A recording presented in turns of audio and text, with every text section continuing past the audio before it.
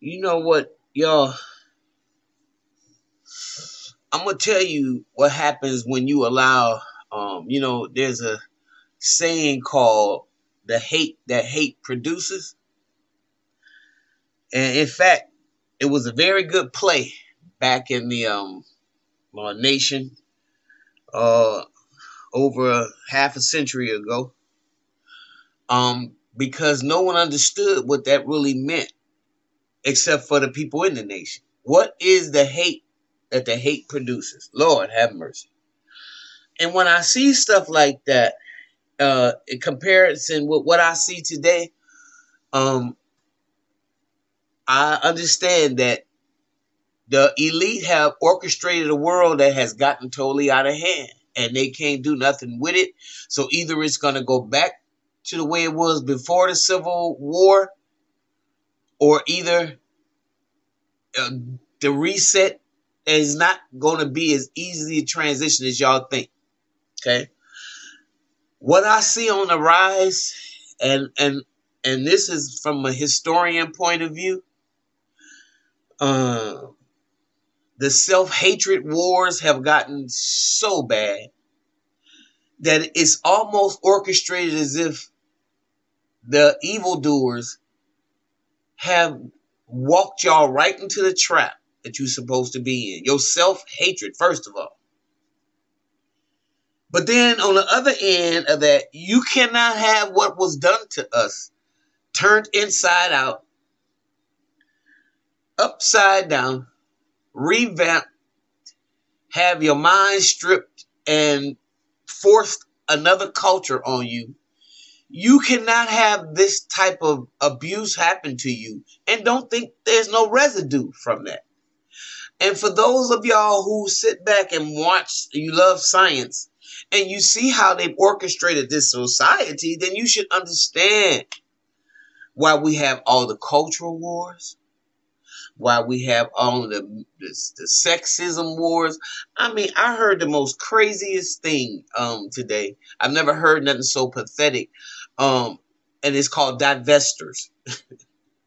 Women that divest, I guess, out of the black community um, into, I guess, a white community or where I don't, I don't know.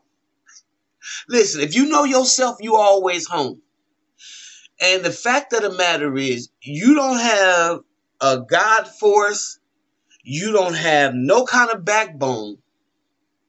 If you think and you don't have no faith in nothing, if you feel that you can take your blackness and then just move about and become a divester and you can uh, miss everything that's allotted for you. I mean, you talking to a person that lived in on a, a farm in a pretty much white community, a white uh city. I think I was maybe the only black person myself. Let me tell you something. People are people. They really are. And at the end of the day, I've traveled this world and I've seen that people are people. However, because of the programming um, you can tell what kind of person that you gotta uh, hold to, whether it's a quality person or a person that's not so quality.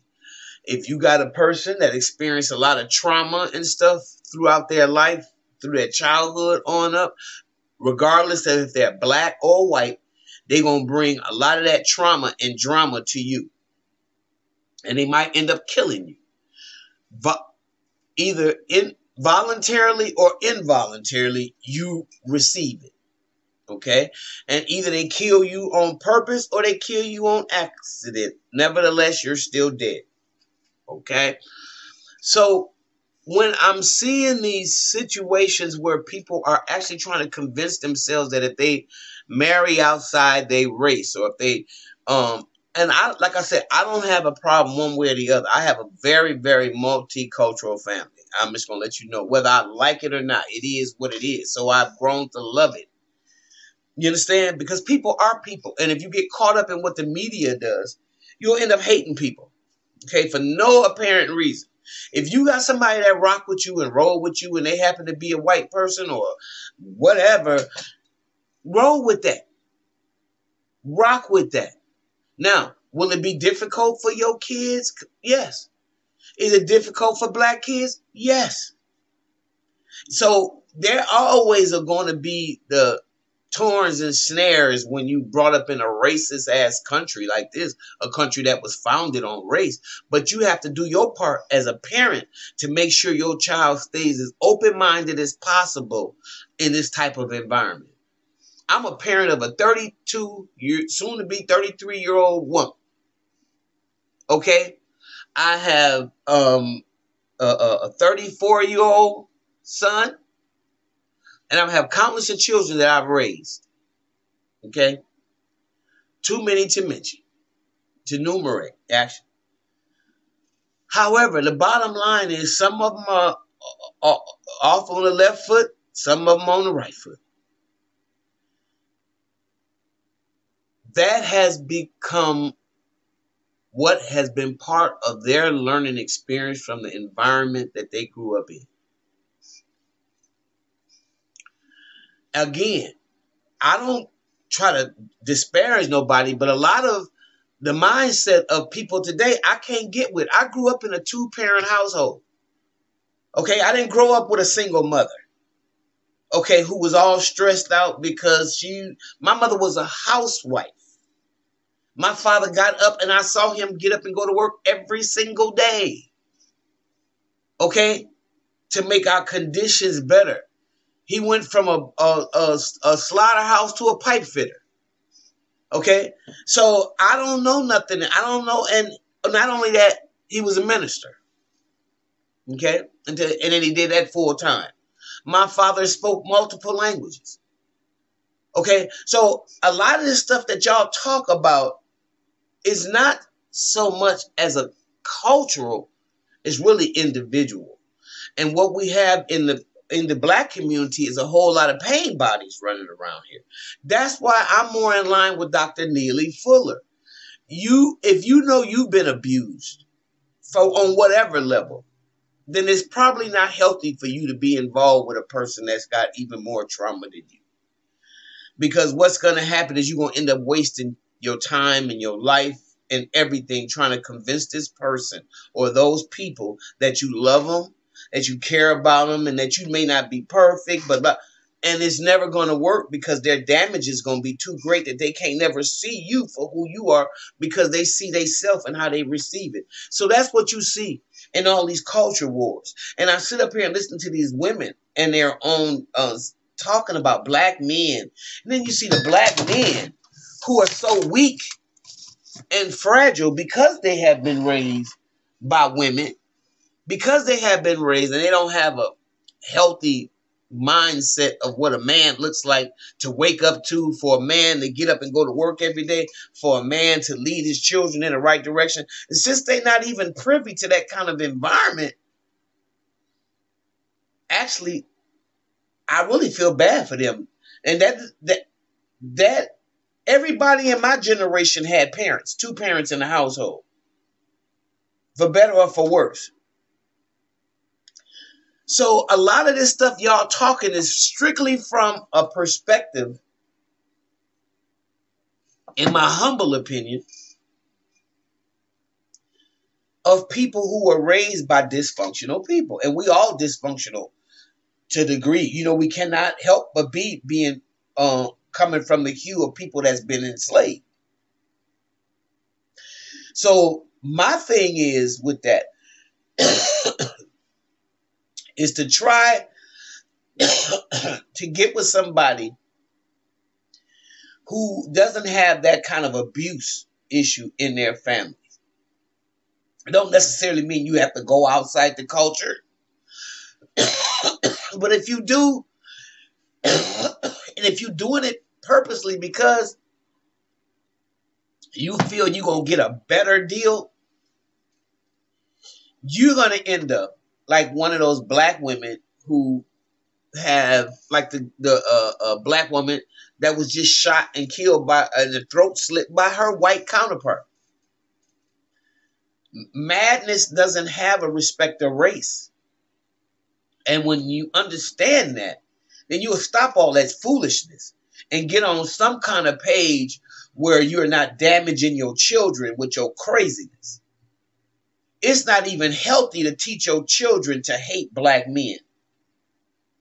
And that is so goddamn crazy. It is so uh, counterproductive for you to teach your sons that all black women are gold diggers and, and this, and then you let them watch pornography. I got so mad at individuals and I just had to stop. I had to get out of this circle because I knew a guy that lot brought a prostitute for his son to have sex with. This is a black man, okay? Because his son had uh was emotionally not a hundred percent together. He was a little bit on the eccentric side, maybe like a Forrest Gump or whatever. The guy was terrorized. He was terrified, and he was 20 years old. But these fools decided he needed some pussy, in their words, so they went and go got him a prostitute and brought her back for him to have sex with. How many people in the black community think that that's that's normal and that's good? It ain't. It's dysfunctional. And this is the kind of stuff that you got to stop saying um uh, uh black people are bad or white people are good or what. Whoever doing this kind of stuff is a dysfunctional individual. And for a child to have to have be raised by people it's almost like your kids are in a hostage situation because they got to deal with this asinine craziness that some adult individuals have perpetrated on them. You got children who hinge upon their every your their parents every word because that's how you are in your God in your children's life. If you lead in the right way, you God to them until they get to know Him for themselves and you gonna take all that power that you have and destroy your child's psyche. Um, that's just like white people when they put the fear in their children about black people. You know different, except you are just ruined by this thing that they call enslavement, and it's showing in your behavior. It's the self on um, self hatred. It's also for white people, for the elitists, this is what your hatred has produced. Nobody trusts nobody. The, the elite makes money off all our misery. We strive to find reasons that we're apart different than we strive to find more reasons that we are alike. Because as soon as every single one of us that are poor unite on those type of issues, the marionette couldn't play us like puppets the way you do. When every poor person get together, white, black, brown, no matter to me. Gay, straight, it don't matter to me. And realize what the real enemy has been to humanity, then maybe y'all will stop attacking and eating up your own goddamn selves. Because right now, we're not doing a very good job at all. At all. And, and, and, and I had to do this today, uh, um, this video. I mean, I had to do it. I just had to do it because it just sitting back watching it sometimes is so, so sad that the puppet master has created a world where we focus on what our differences are as opposed to what we are like about. And once you create up that create that kind of environment, the people are actually fucked. And unless they can get unfucked, we're gonna suffer the same fate as the French when Marie Antoinette said, Oh, just let them eat cake.